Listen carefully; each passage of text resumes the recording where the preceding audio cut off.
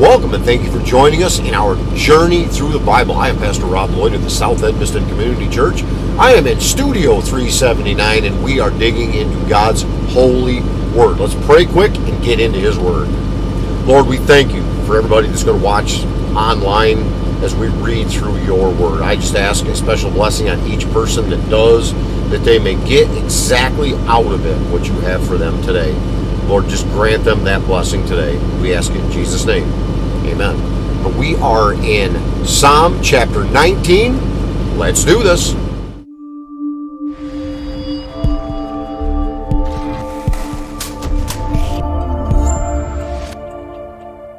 Psalm chapter 19.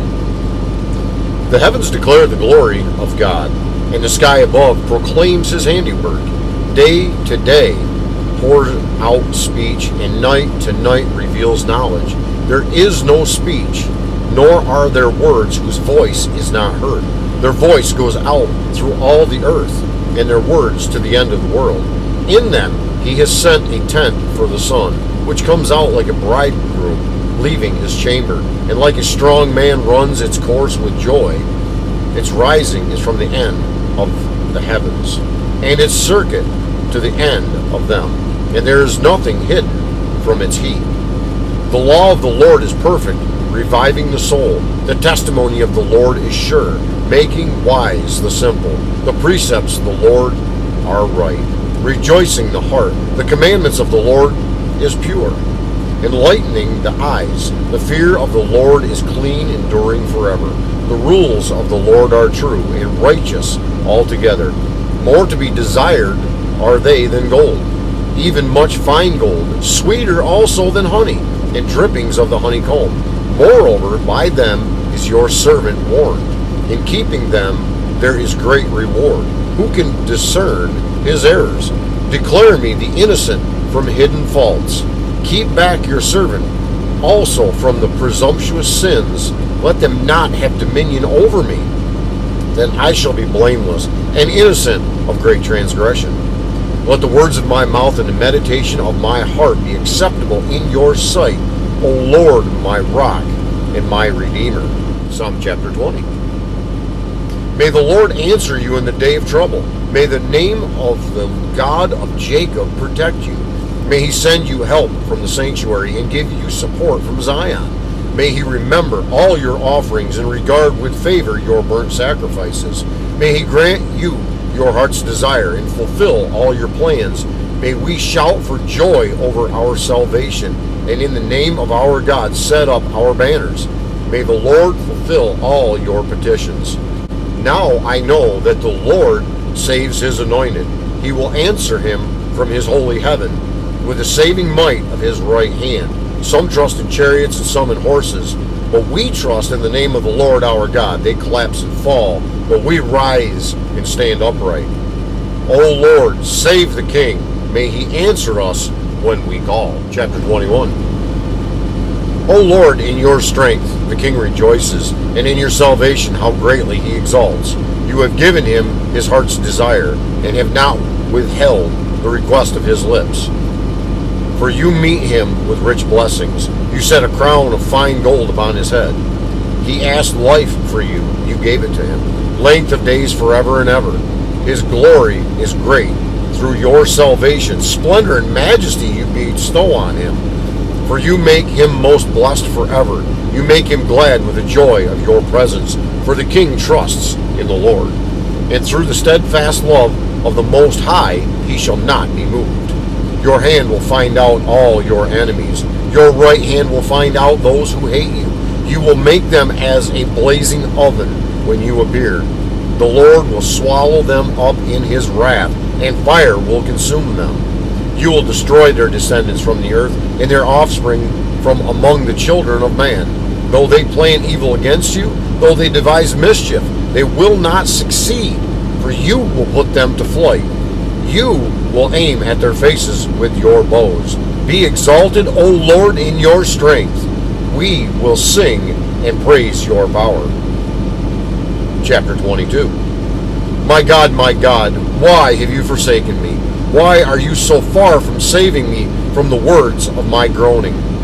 Oh my God, I cry by day, but you will do not answer, and by night, but I find no rest. Yet you are holy, enthroned on the praises of Israel. In you our fathers trusted. They trusted, and you delivered them.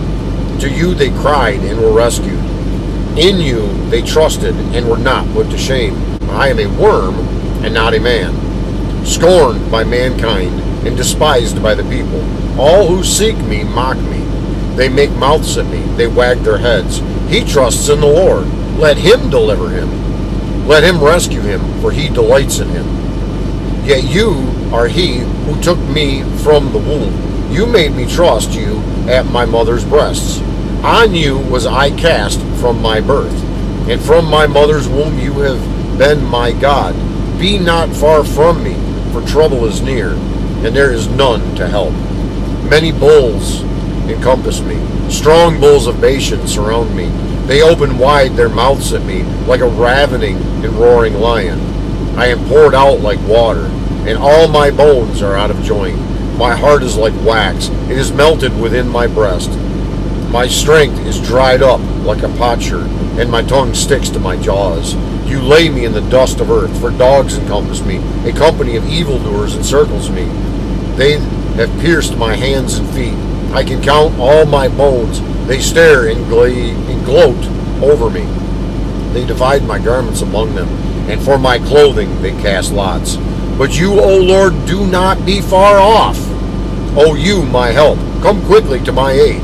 Deliver my soul from the sword, my precious life from the power of the dog. Save me from the mouth of the lion. You have rescued me from the horns of the wild oxen. I will tell of your name to my brothers. In the midst of the congregation, I will praise you. You who fear the Lord, praise him. All you offspring of Jacob, glorify him and stand in awe of him. All you offspring of Israel, for he has not despised or abhorred the affliction of the afflicted. And he has not hidden his face from them, but has heard when he cried to him. From you comes my praise in the great congregation. My vows I will perform before those who fear him. The afflicted shall eat and be satisfied. Those who seek him shall praise the Lord. May your hearts live forever. At the ends of the earth shall remember and turn to the Lord. And all the families of the nations shall worship before you. For kingship belongs to the Lord, and he rules over the nations.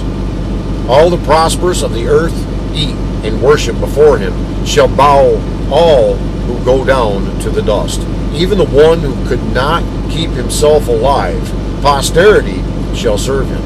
It shall be told of the Lord in the coming congregation, and shall come and proclaim his righteousness to a people yet unborn, that he has done it. To wrap up our reading today, we started out in Psalm 19, wrapped up Psalm 22, just a few chapters, but I would just ask the Lord that until we meet again, He would bestow a great blessing upon you. That blessing being more work for you to do for Him.